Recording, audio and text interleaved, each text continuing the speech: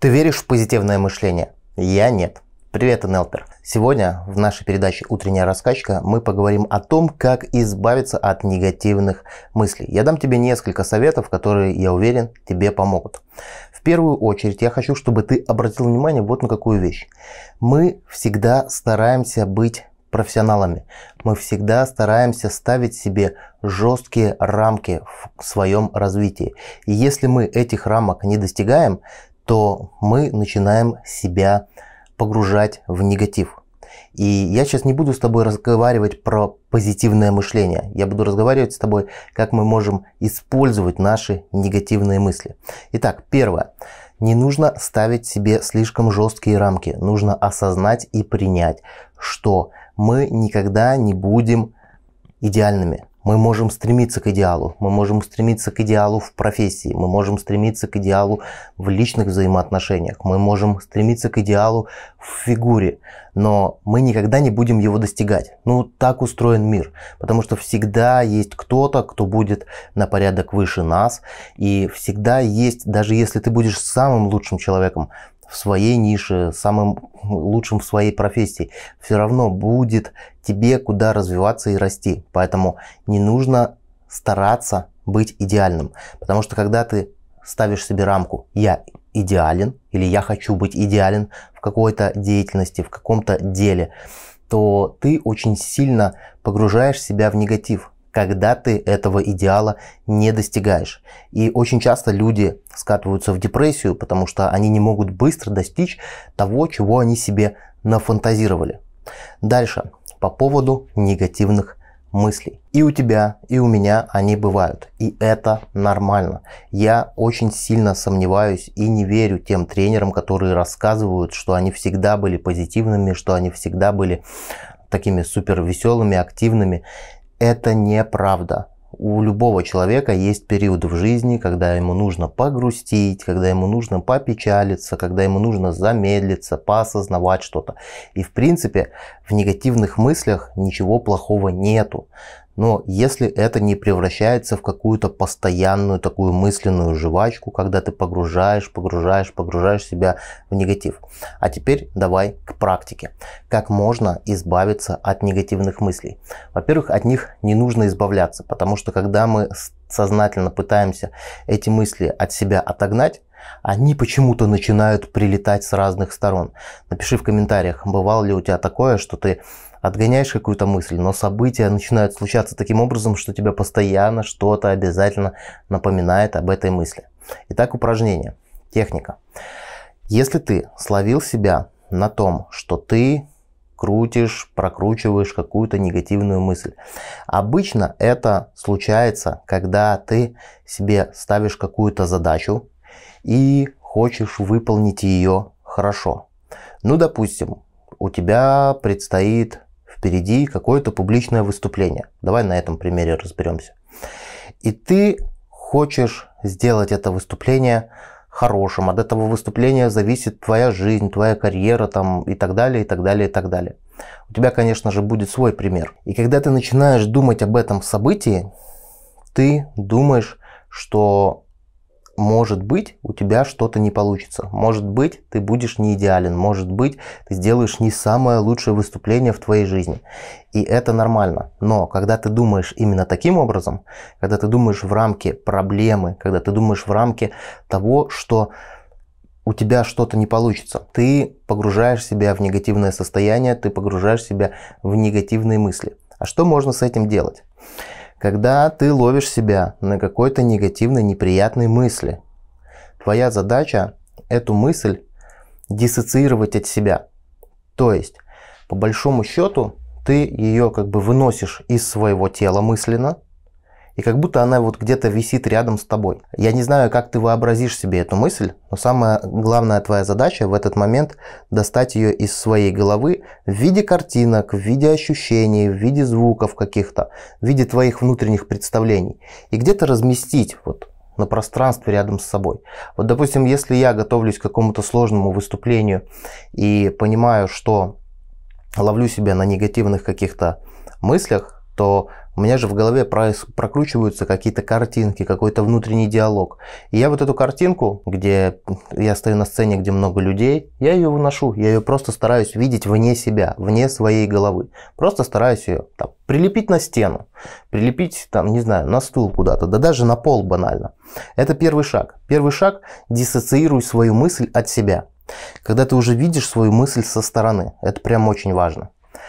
Дальше сделай вот что. Ты видишь, что она не очень приятная, она, там нерадужные перспективы. Задай вопрос этой мысли. А какое твое позитивное намерение? Задай мысли, задай свои мысли этот вопрос. То есть, если ты диссоциировал свою мысль от себя, задай вопрос. Какое твое позитивное намерение? Чего ты хочешь? И ты получишь ответ. Иногда люди не получают сразу ответ. Здесь нужно немножко попрактиковаться, здесь нужно немножко дать себе время для того, чтобы научиться это делать. То есть у своей мысли, которая сидит у тебя в голове, нужно задать вопрос. Какое твое позитивное намерение? Зачем ты сейчас во мне происходишь? Зачем я сейчас тебя прокручиваю? И, как правило, здесь приходит ответ, что я не хочу, чтобы ты нервничал, я не хочу, чтобы ты облажался, я не хочу, чтобы с тобой случилось что-то неприятное, что-то плохое, что-то нехорошее. Этот ответ в целом хороший, в целом хороший.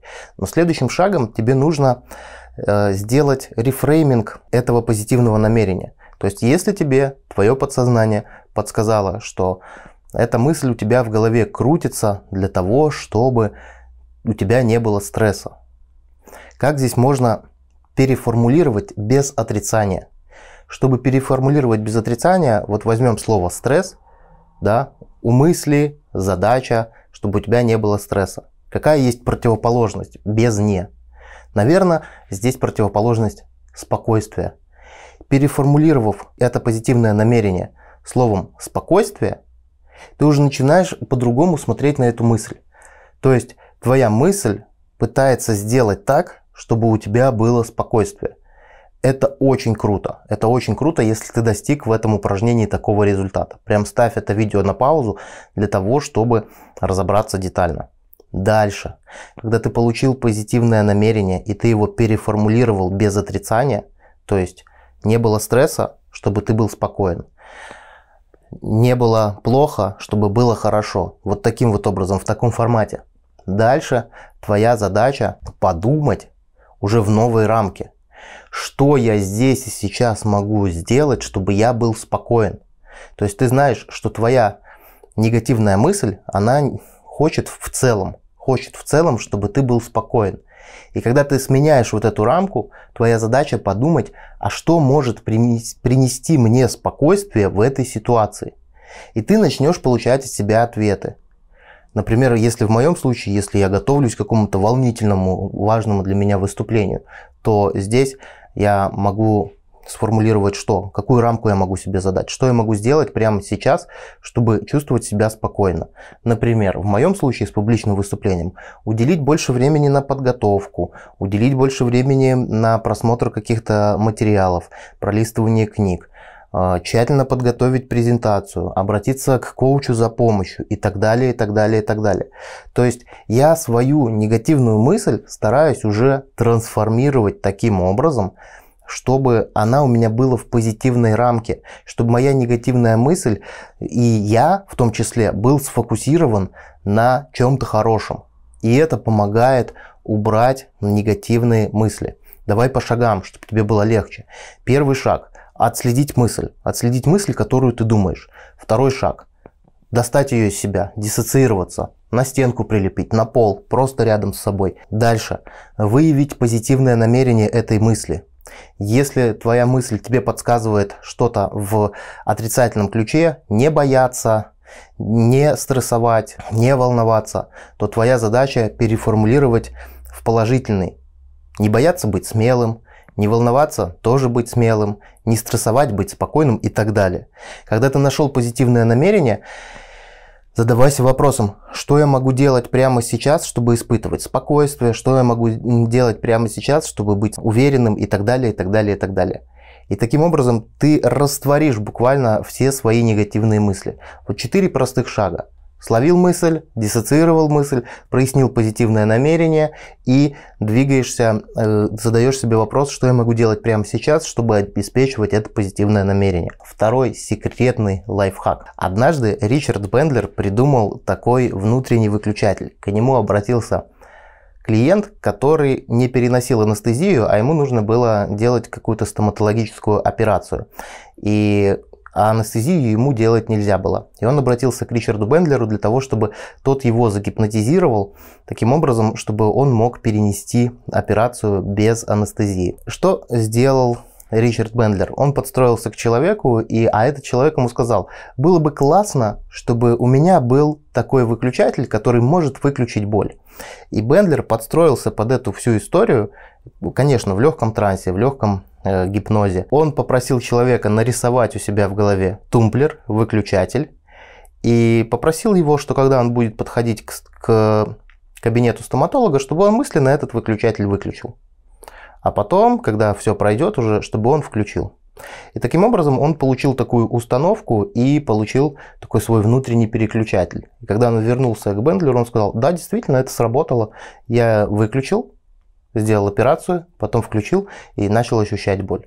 Вот такая вот интересная история. Так что можешь делать ты со своими негативными мыслями? Ты можешь сделать себе нечто наподобие выключателя. Во-первых, ты можешь смоделировать выключатель.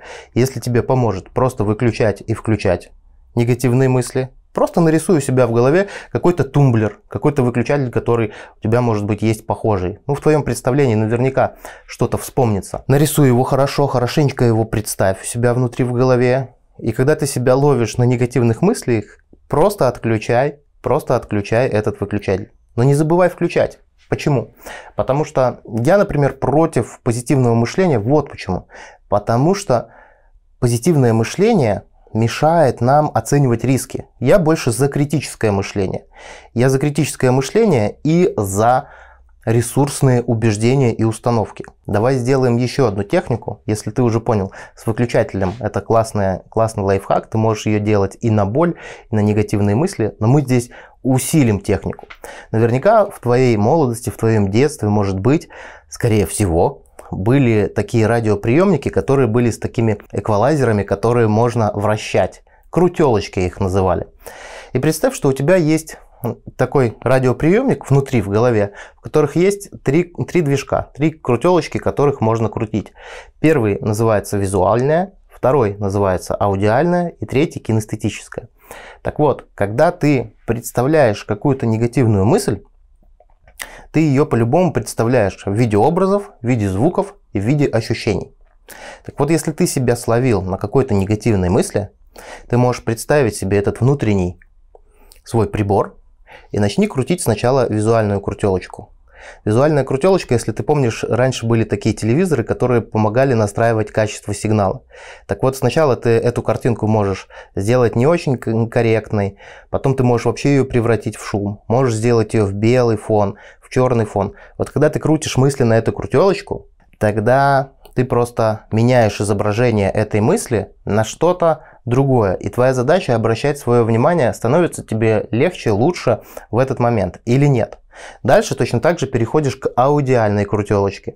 Если в твоем изображении был или есть звук, попробуй поработать с этим звуком, сделать его тише, громче и тоже обращай на свое, на свое ощущение внимания. Ну и третья кинестетическая крутелочка.